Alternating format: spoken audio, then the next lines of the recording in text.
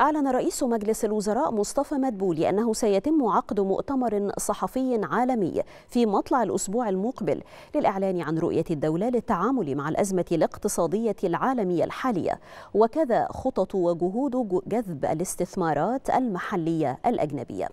جاء ذلك خلال الاجتماع الأسبوعي لمجلس الوزراء حيث كشف مدبولي عن أنه سيتم إنشاء وحدة في مجلس الوزراء تحت إشرافه المباشر تكون مهمتها العمل على سرعة حل مشكلات المستثمرين بحيث سيتم وضع حد أقصى لإنهاء الموافقات من الوزارات والجهات المعنية على المشروعات الاستثمارية والتراخيص المختلفة.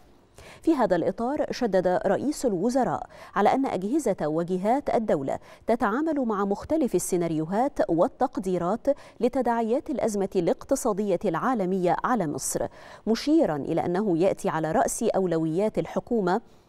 خلال هذه الفترة توفير السلع الأساسية بكميات تلبي احتياجات المواطنين وكذا توفير مستلزمات الإنتاج بما يضمن استمرار عمل المصانع. كما تطرق مدبولي أيضا خلال هذا الاجتماع إلى الجهود المبذولة من جانب مختلف أجهزة وجهات الدولة المعنية استعدادا لاستضافة مصر للدورة السابعة والعشرين لمؤتمر أطراف اتفاقية الأمم المتحدة الإطارية لتغير المناخ. هذا وقد استهل مجلس الوزراء اجتماعه اليوم بالوقوف دقيقة حدادا على أرواح شهداء الحادث الإرهابي الغادر الذي استهدف نقطة رفع مياه بغرب سيناء.